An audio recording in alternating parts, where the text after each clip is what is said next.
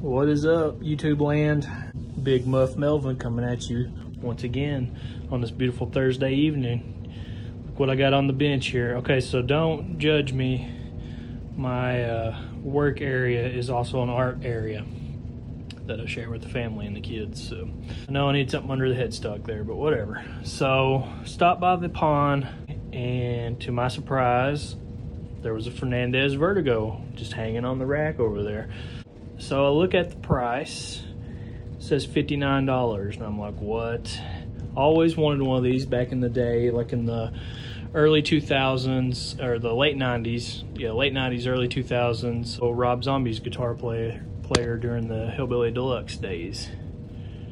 Um, played one of these. I remember he had all kinds of crazy ones, like with blood in it, and all this stuff. So yeah, 59 bucks. I was like, oh man, I can't pass that up. And the dude said, you know, I'm looking at it and the, the pawn shop guy says, let me make you a deal on that that you can't walk away from today. And I'm like, okay, what are you thinking? He says $45 and I say sold.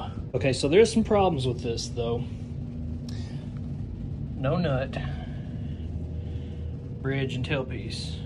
So you're thinking, oh, that could be pretty hard to find for one of these. I think these are 90s models, guitars, late 90s, maybe early 2000s.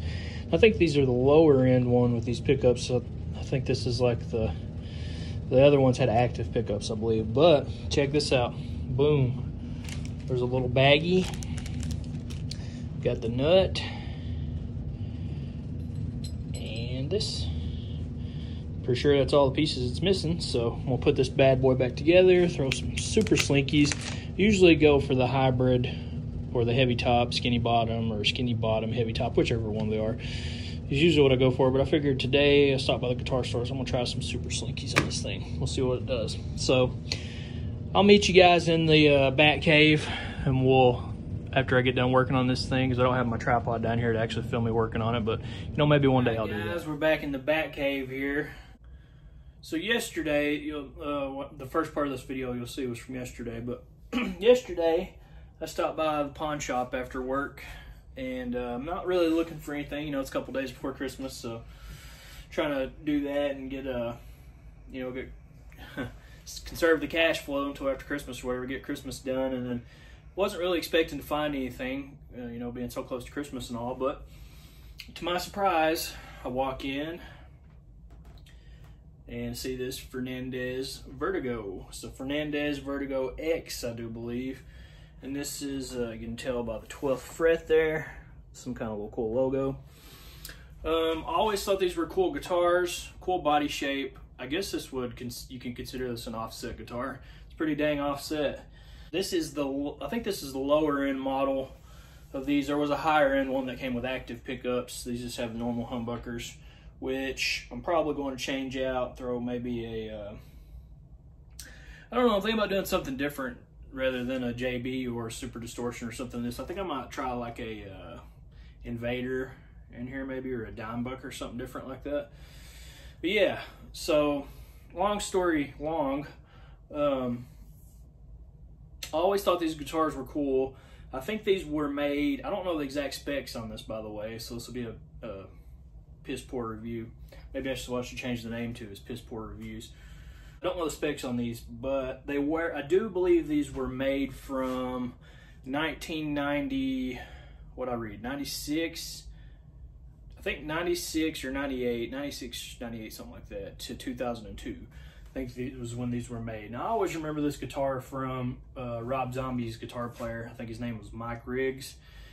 Always remember the Dragula video, him jamming one of these. Yeah, so, uh, don't know any specs, don't know what the neck is. I think, I guess it's probably rosewood. Uh, it does have a ding here on the butt, which is cool. I think it looks cool. Uh, could use some more relicking, I think. Um, Gibson style bridge was easy to set up. Coil headstock Fernandes. I think this is made in China.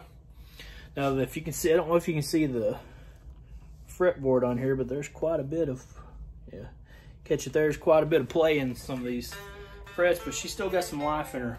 Let's hear this uh, Fernandes Vertigo uh, X model, perhaps. I don't know if it's an X or not. Standard pickups, like I said. Oh, and it does have a short in it. in the jack. I did some soldering to get it back working mostly, but it still needs some uh, electrical work done. So I don't know if I'm going to put that much effort into fixing that because, like I said, I'm probably going to change this bridge pickup out at least, maybe both. I don't know. So let's let's fire this bad boy up here. Like always, running through GarageBand, headphones right now. Still haven't got my equipment in, so.